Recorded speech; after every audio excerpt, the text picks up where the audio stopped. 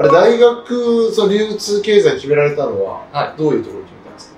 これも、はい。僕本当プロになれると思ってなくて大学最後楽しくサッカーしようかなっていう感じで行こうかなと思ってたんですけどその高校の監督がなんかお前は厳しいところに身を置けというふうに言ってくださって親とかも呼んであのこう面談してくださってでなんか流通経済大学に行ってこいみたいなで流通経済大学のスカウトの人も来てくれてあすごいいいからぜひ来てほしいみたいになって進学しました。大学時代で一番こう苦労したこととかあったりしますか？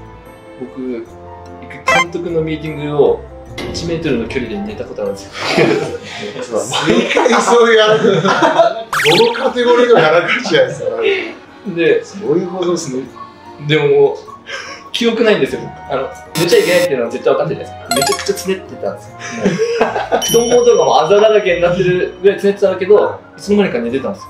そしたらスカーンってもう1メートルの距離やられてそこからあの一番下のチームが落ちた流通経済大学って嬉しいっすね。6カテゴリーぐらいあるんですけどはいはいはい。その一番下の落ちたまあ落ちたというか、まあ、悪いことしたんで僕がは当たり前なんですけど落ちて夏にトップチームに戻る戻る頑張って戻ってで夏の大会に優勝した。ん。ですなんか やらかした後に。こっ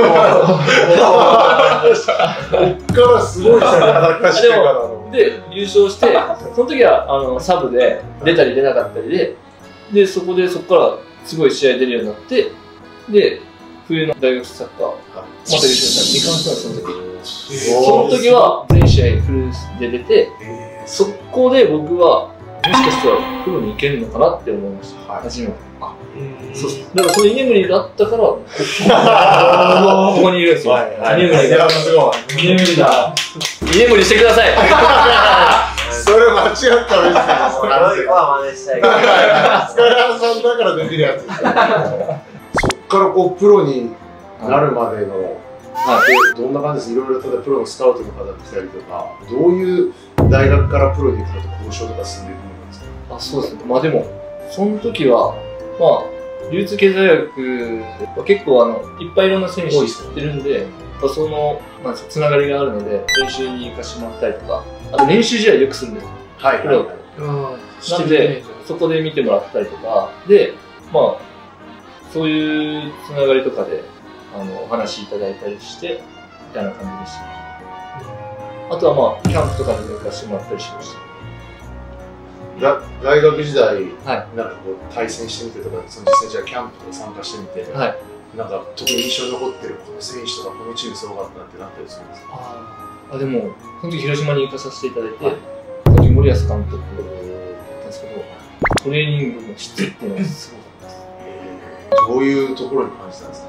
ちょっと難しい質問かもしれないです一個一個のプレーに対しての、まあ、この監督が注文する、まあ、温度差というかこう一個のちょっとしたプレーのミスだけど「おいこここうだろ」みたいな感じでプレー一つ一つへのこだわりがすごかったっていうの。まあ、あとはやっぱその時すごい広島今も強い。はい。強かった。え、洋二君とか言ってあそう。はいはい。なんであのすごいその時もいなかっあ、いなかった。スリーバックやってるた時。そう。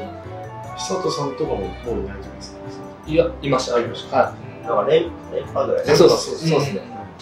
はい。それでその時だったのですごいなんか覚えてます。あのー、チャンネル登録よろしくお願いします。